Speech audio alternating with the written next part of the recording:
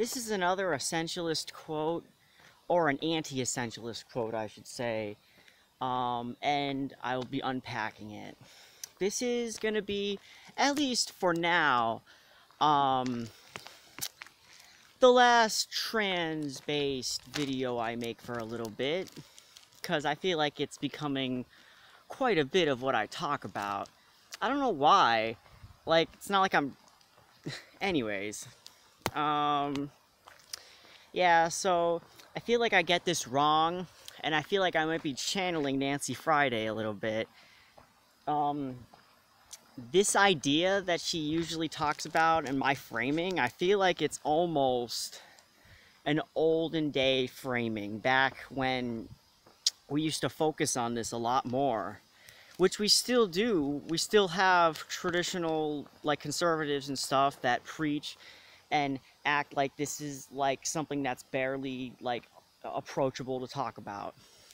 So, the topics that I've been talking about when it comes to the trans and woman issues are obviously, like, almost anachronistic because we sort of understand um, the, the progressivist ideas at this point. All right. So Nancy Friday once said, if you believe in the maternal instinct and fail at mother love, you fail as a woman. It is a controlling idea that holds us in an iron grip. Uh, end quote. Um, yeah, this implies, in my opinion, to at least two things. Um, not wanting a kid even though there's a drive. And without menopause, many cis women have faced infertility, which is heavily sad. But unconscious judgment from others, uh, focusing on lineage, or studies saying you will regret it, create the meaning for you. Of course, pro choice will has always had this unspoken knife against your side, so to speak, unfortunately. Even though you know, we do practice pro choice, but it's not really, it's almost hollow, you know. We still expect, you know, once the progressive mask is off, it almost seems like you just go back to doing what you're told in society, which is understandable. Like, as a dude, like, I don't cry that often, and, you know, it's probably not a good thing all right, anyways. Um, two, there's an impl implication in how we frame what a woman is, uh, kids and estrogen. But once menopause kicks in, we would never tell her she's less than a woman because of our visual and biological value moving around. Until backs are turned in polite culture and company.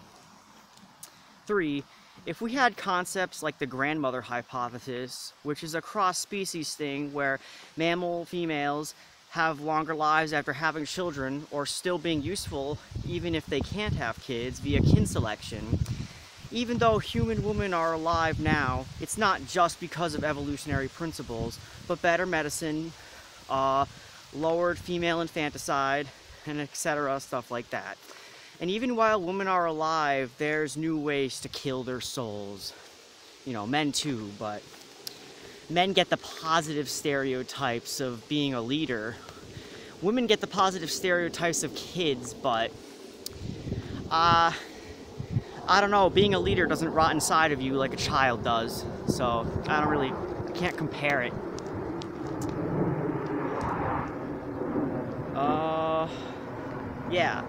But if we had different checkpoints of female realization and respect for the sake of being friends, for the sake of friendship, not friend strings, you know, that drop once the, ex- the aesthetics do, um, then trans women wouldn't need to walk on eggshells, as literally women do, so to speak, you know, planting wise.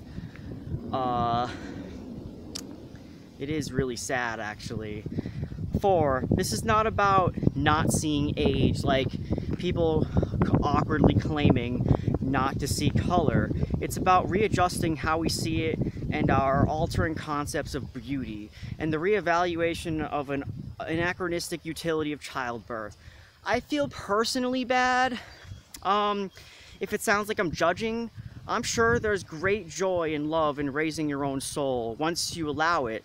But people do say stuff like, I'm pro-life, I'm pro-life and pro-choice, which is a deep emotional contradiction based on our definitions of pro-choice, which to some only means abortion, um, as opposed to the overall medical Planned Parenthood model.